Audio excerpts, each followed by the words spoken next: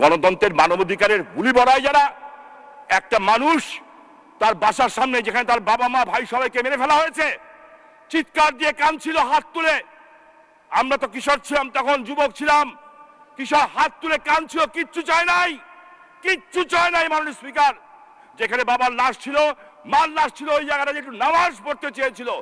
জিয়াউর রহমান সেদিন ওই দরজা খুলে তাকে নামাজ পড়তে দেয় নাই। সমস্ত ঠেকা জাতির পিতার কন্যা শেখ হাসিনার যে গণতন্ত্রের চর্চা ডেকে ডেকে দাবাত দিয়ে খাওয়াইতে হবে, খাইলে খাবি, না খালি না খাবি, যে আসবি আসবি, না আসে, না আসবি, ওই ভয় দেখে লাভ নাই। এইটার পঁচাত্তর সন হবে না। এইবার হয়তো প্রধানমন্ত্রীর কথাও শুনব না। পরিষ্কার ভাবে বলতে চাই এইটার প্রধানমন্ত্রীর কথাও শুনব না।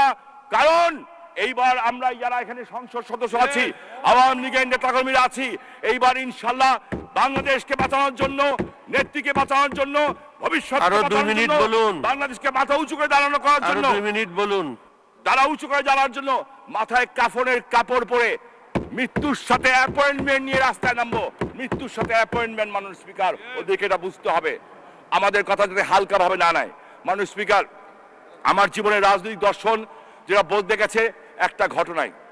নারায়ণগঞ্জে আমার মাতৃতুল্য প্রধানমন্ত্রী শেখ হাসিনা উনি আমরা যারা পঁচাত্তরে পড়ে এসেছি উনি আমার কাছে, আমাদের কাছে প্রধানমন্ত্রী সভানেত্রী না। উনি আমাদের কাছে আমাদের মা। একদিক দিয়ে আমার মাননীয় প্রধানমন্ত্রী, আমার এতিম শেখ হাসিনা, আমার শেখ রেহানা শেখ রেহানা ছোট আপা যে এখন চিৎকার দিয়ে কানতে পারেনি এখন পর্যন্ত। এই দুইটি বোন আজকে আছে দেখেই আমরা আজকে কলঙ্ক মুক্ত হয়েছি। নাহলে বঙ্গবন্ধু হাতার বিচার তো দূরের কথা, মাননীয় স্পিকার। এদেশে মুক্তিযুদ্ধের ইতিহাস থাকতো না। আমি বিশ্বাস করি মনে প্রাণে। আজকে একুশ বার মারার চেষ্টা করা হয়েছে। সবাই শুধু আমরা তার উপরে চাপাই। আমরা শুধু সবাই তার উপরে চাপাই। আল্লাহর অশেষ রহমত, আমি ওনাদেরকে বলব, কষ্ট পেয়েন না। আমার বিশ্বাস, জান্নাতুল ফেরদৌসে আপনারা আপনাদের পুরো পরিবারকে একসাথে পাবেন। এটা আমার দৃঢ় বিশ্বাস, আল্লাহর উপরে বিশ্বাস। মাননীয় স্পিকার, উনি যখন হেলিকপ্টারে উঠলেন, হেলিকপ্টারে উঠার পর দেখছি নেত্রীর চোখ দিয়ে পানি পড়ছে আর মুখে হাসি।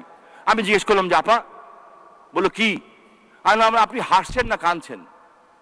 উনি আমার দিকে তাকিয়ে বললেন, শামিম, এই বৃদ্ধ বৃদ্ধ মহিলাগুলি যখন আমাকে জড়িয়ে ধরে আমার মনে হয় আমার মা যেন আমাকে কবর থেকে এসে বলছে মাগো ও মা কোনো চিন্তা করিস না মা আমার দোয়া তোর সাথে আছে।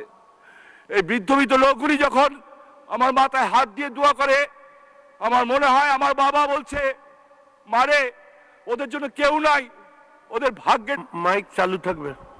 ওই ছোট্ট বাচ্চাগুলি যখন আমাকে ওই হাসিদা ওই হাসিদা বলে ডাকে আমার মনে হয় আমার ছোট্ট ভাই রাসেল বলছে হাসু আপা ও হাসু আপা আমাকে একটু কোলে দাও না।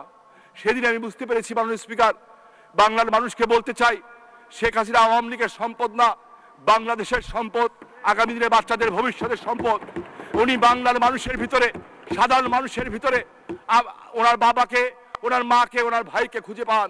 তাই আজকে আওয়ামী লীগের যারা সদস্য আছেন, কিংবা স্বাধীনতার পক্ষে যারা আছেন, আমি আপনাদের কাছে হাত জোর করে অনুরোধ করতে চাই, একাত্তরে যেমন আমরা বঙ্গবন্ধুর নেতৃত্বে ঐক্যবদ্ধ হয়েছিলেন আবার বোধহয় ঐক্যবদ্ধ সময় এসছে।